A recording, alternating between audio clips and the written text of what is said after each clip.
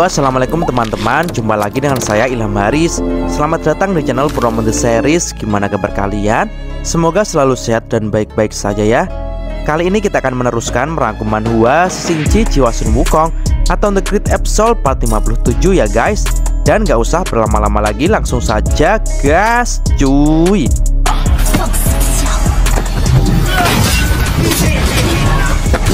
Di episode sebelumnya diperlihatkan Suma pun sudah sampai di kota Asura untuk ikut berperang melawan sekte kebangkitan. Akan tetapi, sang pertapa penjaga besi pun juga muncul dan khusus untuk berduel dengan Suma. Dan kini pertarungan mereka pun sudah dimulai. Terlihat Suma pun kini bergeser dengan keras hingga jauh akibat serangan dari pertapa. Suma pun kini berkata dalam hati, kalau kekuatan sang pertapa penjaga besi mirip dengan pejuang Asura kelas tinggi, dan dia menyukainya. Dan dari kejauhan, sang pertapa pun kini segera meluncur ke arah Suma sambil berkata, melawan Dewa Asura yang dikenal di seluruh dunia karena semangat juangnya. Beberapa dari mereka ada yang ahli dalam bertarung di atas normal. Ini akan menyebabkan hambatan bagi misi perang kali ini. Maka dari itu, Tetua Agung mengirimku ke sini hanya untuk berburu dan membunuh orang yang seperti itu. Dan jrut jrut Tangan pertapa pun kini menghitam dan dipenuhi oleh aliran listrik merah. Dan ia pun kini segera akan melayangkan tinjunya sambil berkata Aku akan segera menyelesaikan misi ini secara sempurna Tanpa berlama-lama. Iya Suma yang berada di bawah pun tampaknya menyadari Kalau serangan dari pertapa itu tak akan bisa untuk dihindari. Sehingga mau tidak mau Suma pun bersiap untuk menahan serangan itu. Suma pun langsung memasang kuda-kuda membuat tanah di bawah pun menjadi retak. Jiwa tempurku, terbakarlah, teriak Suma. Seketika tubuhnya pun mengeluarkan api tempur yang membara dan jeder. Benturan kontak fisik pun terjadi dengan sangat keras menimbulkan gelombang yang dahsyat. Mereka pun saling dorong satu sama lain. Pertapa besi pun di situ berkata, "Apa kau tidak bisa mengukur seberapa besar kemampuanmu saat ini? Kamu telah mengambil keputusan yang salah." Suma dengan sekuat tenaga masih berusaha menahan pukulan dari pertapa penjaga besi itu. Peperangan ini tampaknya benar-benar membuat kota Asura menjadi kacau dan sangat berdebu. Dan kini terlihat sebuah golok yang melayang dan ternyata itu adalah senjata dari tetua Huji yang akan menyerang Nyonya tanpa wajah sambil berkata, "Hei, tetua sekte kebangkitan, aku yang akan menjadi lawanmu." Iya, mauwet, duar. Tetua Uji pun segera menyabetkan pedangnya ke Nyonya tanpa wajah. Tapi tiba-tiba musuh itu pun menghilang dan pedang itu pun mengenai tanah hingga hancur. Dan seperti debu, si Nyonya pun kini telah berpindah ke dinding atas dan ia pun berkata, Hei Nona, kejam sekali kau mau menebasku dengan golokmu yang besar itu. Aku pernah mendengar gosip wanita Asura yang garang dan kekuatannya setara laki-laki. Hei kakak, siapa namamu? Tetua Huji pun menjawab, Aku adalah Nona Huji sang harimau, salah satu pejuang Asura. Ia pun memutar-mutarkan tombaknya dan bersiap lagi untuk pertarungan selanjutnya dan lanjut berkata, Kami hanya menggunakan kekuatan untuk memutuskan segala persoalan. Orang yang kau maksud sudah berada di hadapanmu. Sinyonya pun tampak terkejut dan berkata, Ah, rumor itu ternyata benar. Kau memang sangat cantik. Tetua Uji pun tampak heran dengan perkataan sinyonya itu. Sinyonya pun tampak kagum dengan wajah dari Nona Uji dan ia pun berkata lagi, wanita Asura tidak hanya tangguh, tetapi juga memiliki kecantikan yang memukau. Dewi surga pun pasti akan cemburu. Saudaraku, wajah cantikmu benar-benar membuat jantungku berdebar. Aku menginginkannya. Nona Uji pun menatap tajam dan berkata, Hei, apa yang kau inginkan? Nyonya pun sambil melotot lanjut mengatakan, Kakak, aku mau kelupas wajah cantikmu ini. Aku telah melakukannya berkali-kali dan tenang saja. Rasanya hampir tidak menyakitkan. Dengan cara ini, kamu akan masuk ke dalam kehidupanku secara fisik. Dan kini terlihat tangan si Nyonya yang tak pernah dipotong kukunya pun mengeluarkan energi listrik merah yang lumayan banyak. Di sisi lain, terlihat beruang Asura pun berteriak mengayunkan palu godamnya hantaman meteor merah dan doang.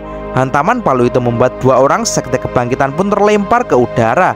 Beruang Asura pun di situ pun lalu berkata, Ayo, tak peduli seberapa banyak kalian datang. Aku akan menghajar kalian Ia pun lanjut berteriak Asura tak akan bisa dikalahkan Dan jerot Tampaknya ia pun lanjut menghajar para antek kebangkitan Sedangkan juga terlihat para bocil-bocil Asura pun juga dengan semangatnya bekerja sama untuk menghajar para antek kebangkitan. Dan di sisi lain, Raja Agung pun juga terlihat masih sibuk menggoreskan kuasnya. Sambil terus menulis ia berkata Asura, makhluk apakah mereka sebenarnya? Mereka memang layak seperti reputasinya sebagai dewa perang. Dalam waktu peperangan yang sama Melawan mereka telah mengonsumsi sangat banyak pikiran namun, aku masih memegang kendali. Raja kebajikan telah datang ke sini menyarankanku untuk tidak menyerang mereka. Tapi lihatlah aku. Aku telah mengirim bola hitam besar ke medan perang yang berisi jutaan kepercayaan manusia. Energi itu akan terus kualirkan kepada mereka agar kekuatan murid-muridku di medan pertempuran terus berkobar-kobar tanpa ada rasa khawatir akan cedera dan kelelahan. Dan sambil terus memercikkan kuasnya, Raja Agung pun berkata, Konsumsilah semau kalian. Jangan ragu lagi Gunakan kekuatan yang kukirimkan pada kalian Untuk menghancurkan Asura sampai ke akar-akarnya. Sang pertapa penjaga besi yang mendengar perkataan dari Raja Agung pun lalu berkata Oke tetua Agung Aku akan melakukannya. Biarkan Asura berlutut dan tunduk pada kekuatan kita yang tak terkalahkan ini.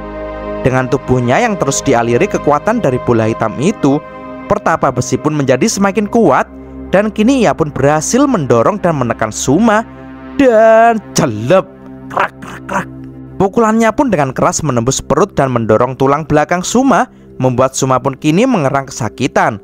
Pertapa besi pun lalu menengadah ke atas sambil berkata, Tetua Agung, terima kasih atas kepercayaan dan kebaikan Anda. Menjadi pengikut Anda adalah kehormatan terbesar dalam hidupku.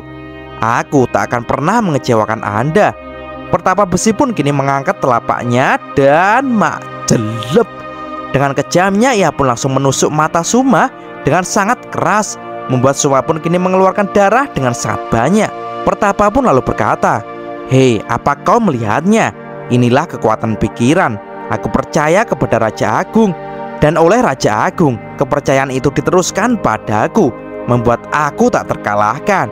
Ini tak akan pernah bisa kau tandingi nak Darah pun terus mengalir deras dari mata Suma. Pertapa pun mengangkat tangannya lagi. Selamat jalan dan dahwar. Seketika Pertapa pun memukul dengan keras yang membuat wajah Suma pun muncrat darah lagi. Bahkan tubuh Suma pun menghantam dan terseret di lantai dengan keras yang membuat lantai pun hancur serta bangunan yang menempel di situ juga roboh dan menimbun tubuh Suma. Dan dari sela-sela reruntuhan itu, kini keluarlah darah yang mengalir. Melihat hal itu, Pertapa menjaga besi pun lalu mengatakan bahwa dia telah menyingkirkan Suma. Ia lalu berkata, berlalunya kehidupan selalu membuat orang menyesalinya. Akan tetapi, ini adalah pengorbanan yang diperlukan untuk mengubah dunia menjadi lebih baik. Pertapa penjaga besi pun kini mulai berjalan untuk meninggalkan Suma di situ, tapi tiba-tiba saja ia pun dikejutkan oleh suatu karena ternyata saat ini Suma pun masih bisa bangkit dari timbunan reruntuhan itu. Pertapa pun terkejut dan berkata, sesuai keinginanku dan di luar dugaan. Dengan tulang punggungmu yang patah, kau masih bisa berdiri lagi. Apakah kau terluka parah? Suma pun menjawab, luka fatal. Kami tak pernah memiliki hal itu. Suma pun kini berusaha untuk berdiri dan menyeimbangkan tubuhnya sambil berkata, selama semangat tempur masih terbakar, Meskipun mendapat luka yang sangat parah, kita masih bisa melakukan pertempuran. Ini cuma batuk biasa. Ini jelas hanyalah cedera yang biasa.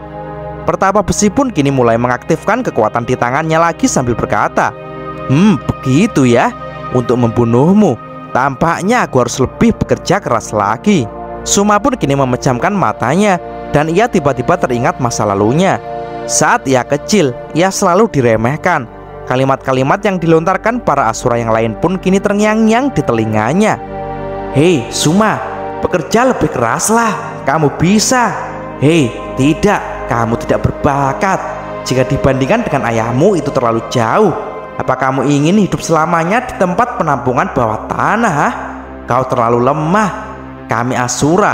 Bahkan jika kamu adalah anak raja, kau tak akan mendapatkan kehormatan dari kami. Suma kecil pun lalu membuka matanya, dan saat itu ia selalu memperhatikan ayahnya, dan ia pun berkata, "Sebagai putra dari Raja Gila, orang-orang menginginkanku untuk menjadi yang lebih tinggi. Ayahku Raja Gila, dia seperti pegunungan paling tinggi yang tak bisa ditaklukkan." Dia jarang berbicara denganku dan hanya kadang-kadang membimbingku. Tapi tidak ada bedanya dengan membimbing asura lainnya. Mungkin di dalam hatinya ia merasa kalau aku tidak memenuhi syarat. Maka dari itu, aku berlatih dan belajar dengan keras, berharap aku bisa mengejar dia. Aku berharap suatu hari nanti dia akan memberikan persetujuannya kepadaku. Pujian, itu dia Meskipun aku tidak istimewa seperti ayah, tapi aku harus bisa menjadi seorang pejuang dan mampu hidup sesuai dengan gelar Asura, yaitu Sang Dewa Perang. Sambil berjalan ke arah Sang Pertapa, Suma pun berkata, "Ayah, lihat bagaimana aku bertarung." Dan krek krek krek krek, mak dohuar. Seketika tulang punggung Suma pun menjadi pulih dan lebih kokoh dan tubuhnya pun kini mengeluarkan api yang menyala.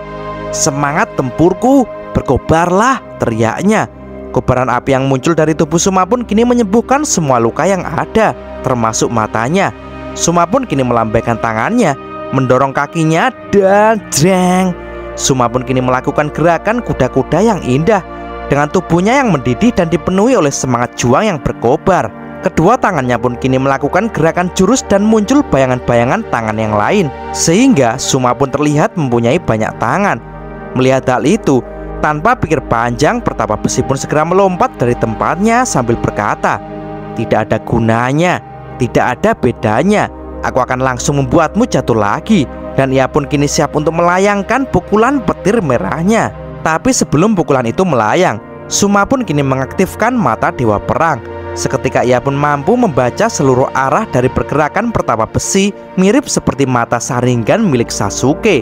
Pertama besi pun begitu percaya diri dan berkata, Hei adik junior, kali ini kamu tidak akan pernah bisa berdiri lagi. Dan Mak Dawar, tak diduga Suma pun bergerak dengan sangat cepat dan malah menyikut-sikut pertapa besi dengan sangat keras hingga membuat lengan dari pertapa besi pun patah. Pertapa besi pun kini dibuat tak percaya dan ia pun berkata dalam hati, bocah ini kenapa kekuatannya naik dengan sangat cepat?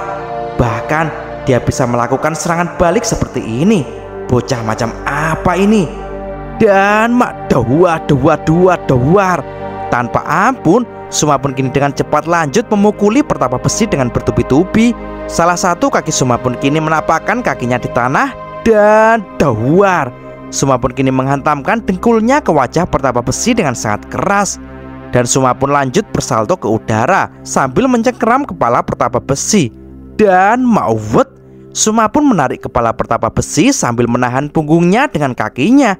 Suma pun berteriak, "Rasakan ini, mak krak krak krak krak." Suma pun menarik paksa kepala pertapa besi hingga memutar ke belakang. Hingga mereka berdua pun berputar dan mak wer wer wer. Seketika mereka berdua pun berputar-putar seperti roda gila yang tak terkendali. Dan ya mak dawat Hingga akhirnya Suma pun melemparkan pertapa besi ke tembok dengan kencang. Membuat dinding itu pun hancur porak-poranda guys. Dan hal itu tampaknya dirasakan oleh Raja Agung di ruangannya Sambil masih menulis Raja Agung pun berkata Konsumsi pikiran tiba-tiba naik sangat drastis. Ini merupakan penebusan dosa. Lawan yang kuat telah muncul dan membutuhkan konsumsi pikiran yang banyak untuk menghadapinya. Volume energi dari bola hitam besar tiba-tiba berkurang hingga setengah. Raja Gila Rahu itu Apakah dia akhirnya muncul? Kekuatannya tentu sesuai harapanku. Tapi aku tidak akan membiarkannya Isi ulang energi kepercayaan bintang Yuan. Kekuatanku tak ada habisnya. Tidak akan pernah habis. Seketika Raja Agung pun mentransfer tenaganya lagi ke kota Asura Membuat cairan energi hitam dalam bola itu yang sebelumnya berkurang separuh Kini menjadi penuh lagi. Pertapa besi yang telah diajar habis-habisan oleh Suma pun kini masih mampu berdiri karena energi dari bola hitam besar itu terus saja mengaliri tubuh penjaga besi. Bahkan tubuh pertapa besi pun seperti tak ada luka sedikit pun. Dan ia pun kini berkata, Putra Raja Gila, Suma, kamu luar biasa. Ah, kekuatanmu sedemikian rupa. Sungguh, aku sangat kagum. Tapi tidak peduli seberapa keras kamu mengajarku, kamu tak akan pernah bisa mengalahkanku karena aku punya Raja Agung yang terus melindungiku. Aku tidak memiliki rasa sakit, rasa takut, dan aku tak memiliki keraguan sedikit pun. Semangat tempurku tidak akan pernah habis. Maka dari itu, dalam pertempuran ini, kau pasti mati. Kepercayaanku yang tak tergoyahkan akan membuatku menang. Seketika Pertapa Besi pun berlari maju lagi. Suma yang juga bersiap pun menjawabnya. Benarkah? Tak tergoyahkan. Sini, aku akan menghancurkannya. Suma pun kini juga berlari maju ke arah Pertapa Besi sambil berteriak. Lihatlah keberanian pejuang Asura ini Dan dengan cepat mereka pun kini sudah berhadapan-hadapan Dan dahuak, dahuak Mereka pun saling memukul dan menendang Dan pertarungan ini benar-benar sengit dan dahsyat Bahkan pertarungan mereka berdua menimbulkan ledakan-ledakan yang menghancurkan bangunan-bangunan di lokasi pertarungan. Hal itu mencuri perhatian bagi para asura di situ. Mereka pun sangat tercengang dan mereka jadi mengetahui kalau yang bertarung itu adalah pangeran mereka, yaitu Suma. Hakim pembuluh darah pun juga tampak terkejut melihat hal itu. Ia pun berkata, pertempuran yang sengit, lawan dari pertapa besi tampaknya bukan orang biasa. Dan kini pertarungan pertapa besi melawan Suma membuat energi hitam di dalam bola besar pun berkurang dengan sangat cepat. Akan tetapi, Raja Agung pun tak tinggal diam. Ia pun terus menggerakkan kuasnya sambil berkata, Pertapa besi, adalah muridku yang paling setia. Keyakinanmu akan memimpinmu untuk menang. Dan cerita pun bersambung. Oke teman-teman, terima kasih sudah nyimak alur cerita kali ini sampai habis. Semoga teman-teman terhibur. Jangan lupa terus dukung channel ini agar terus berkembang ya. Dan sampai jumpa di episode selanjutnya. Assalamualaikum warahmatullahi wabarakatuh.